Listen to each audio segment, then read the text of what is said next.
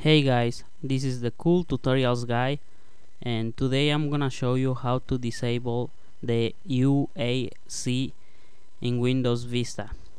The UAC is the user account control. Go to start. Here you are gonna type MSCONFIG.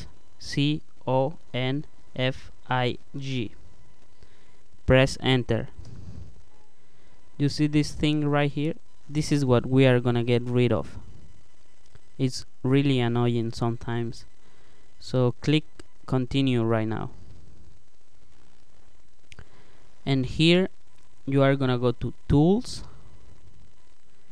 In tools you are gonna find an option that says disable UAC select it and press the button here launch. See now we have done it successfully. Let me show you here. The operation completed successfully. And now do you see this thing right here?